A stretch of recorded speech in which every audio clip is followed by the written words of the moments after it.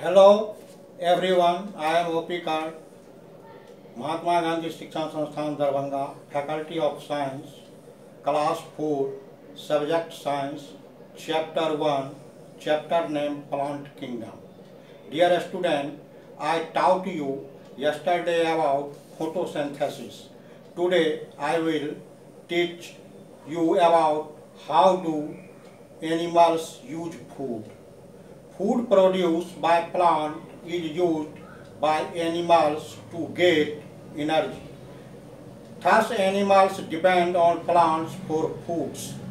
All living things depend on each other for their food for survival.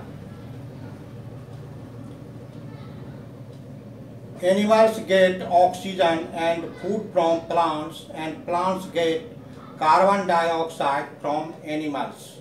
A sudden increase or decrease in the number of any one of these will disturb the balance of a nature.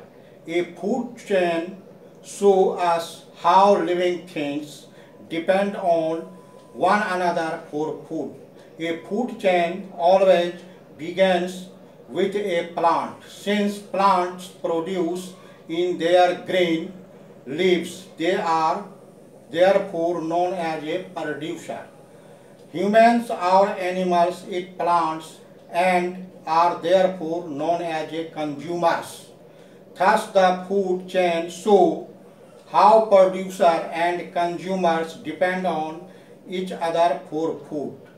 Food chain is green grass, rabbit, eagle. Thank you.